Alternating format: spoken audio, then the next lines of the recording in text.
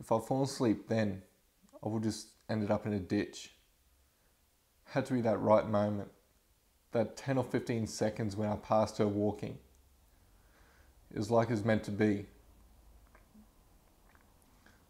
I guess I'm screwed now, right? A person who kills a priest's wife is exactly going to get ushered to the front line in heaven. I know what I've done to you. I know I've taken away so much. I'm truly sorry for what I've done to you and your family. I don't expect your forgiveness. Take this one night, July 22nd, 1964.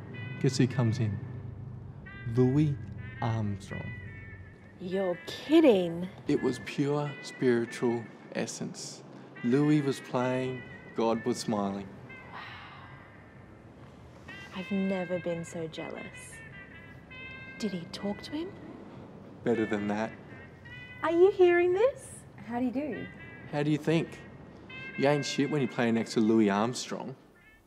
Look, mate, I was about 12 or 13. It was the air around her, the scent she left as she moved around. That's what got me.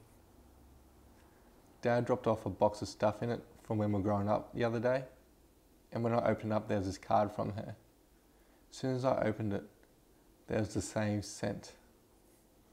As soon as it hit me, my head was flooded with all these clear memories of us together.